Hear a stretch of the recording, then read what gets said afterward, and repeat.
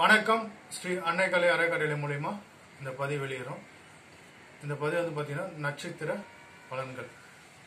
மொத்தம் இருபத்தி ஏழு நட்சத்திரம். அந்த இருபத்தி ஏழு நட்சத்திரத்தில் ஒவ்வொருத்தரும் ஒவ்வொரு நட்சத்திரத்தில் பிறந்திருப்பாங்க.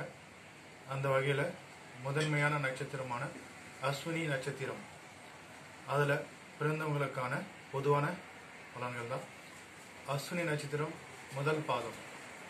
அதில் பிறந்தவங்க வந்து பார்த்தீங்கன்னா லட்சுமி கடாட்சம் உடையவங்க அப்படின்னு சொல்கிறாங்க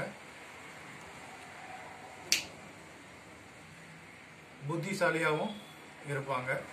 கீர்த்தி உடையவன் அதிகமாக நன்மைகள் மட்டுமே செய்யக்கூடியவங்களாக இந்த அஸ்வினி நட்சத்திரத்தில் பிறந்தவங்க இருப்பாங்க.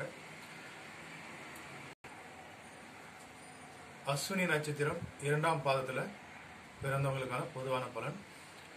இவங்க வந்து பார்த்தீங்கன்னா ஆன்மீகத்தில் அதிக ஈடுபாடு உடையவங்களாக இருப்பாங்க. ஜோதிடம் மேலே அதிகமான ஈடுபாடு இருக்கும். ஜோதிட நூல்களையும் இவங்க அதிகமாக படித்து அதை பயிற்சியும் எடுத்து இருப்பாங்க. மாந்திரிக சம்பந்தமான தொழிலும் இவங்களுக்கு முழுமையாக அமையும்.